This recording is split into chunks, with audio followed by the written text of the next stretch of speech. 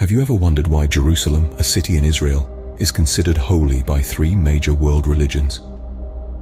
This isn't a random designation, but a testament to Israel's profound historical significance within the narratives of Judaism, Christianity, and Islam. Let's start with Judaism. Israel, or more specifically Jerusalem, is the spiritual epicenter of Judaism. It's here that Abraham, the patriarch of the Jewish people, showed his unwavering faith by preparing to sacrifice his son Isaac. It's also where King Solomon built the first temple, the holiest site in Judaism. Christianity too has deep roots in Israel. Jesus of Nazareth, who Christians believe to be the Messiah, was born in Bethlehem and spent his life preaching in Galilee and Jerusalem.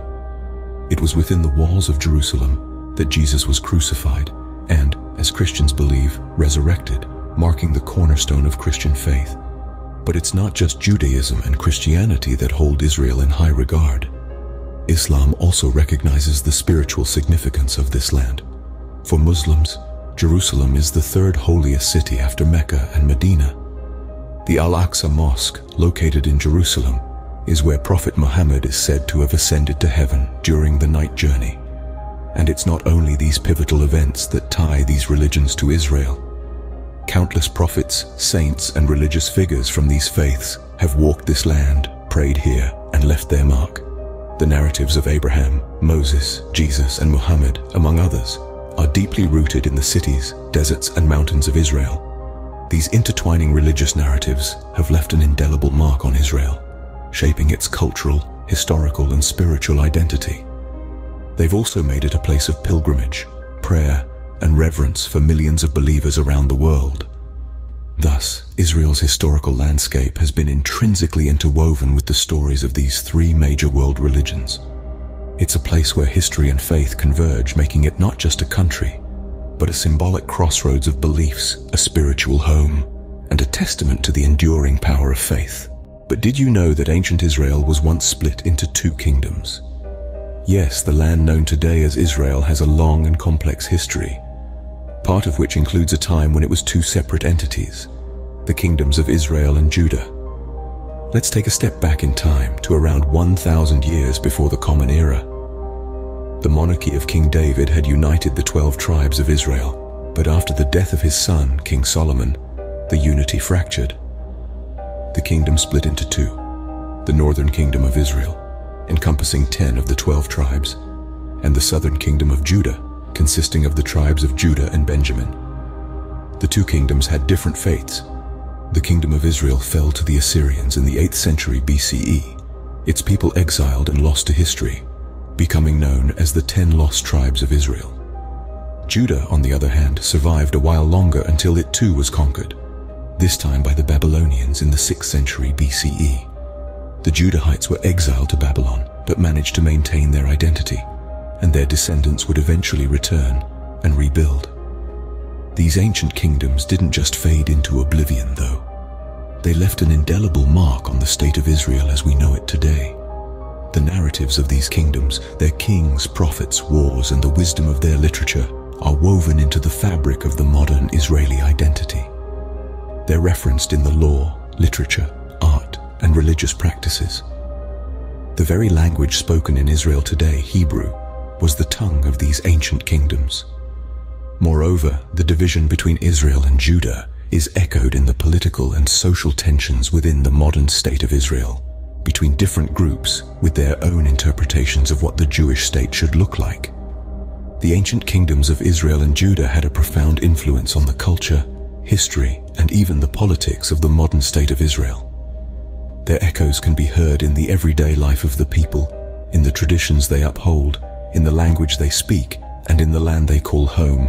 What if you were forced to leave your homeland and then returned after thousands of years? Imagine living through such an epic journey. This is the story of the Jewish diaspora, a series of displacements that scattered the Jews from their ancestral homeland.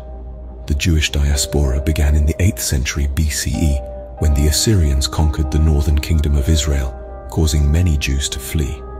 Later, in the 6th century BCE, the Babylonians seized the southern kingdom of Judah, leading to another significant Jewish displacement. But the diaspora didn't stop there.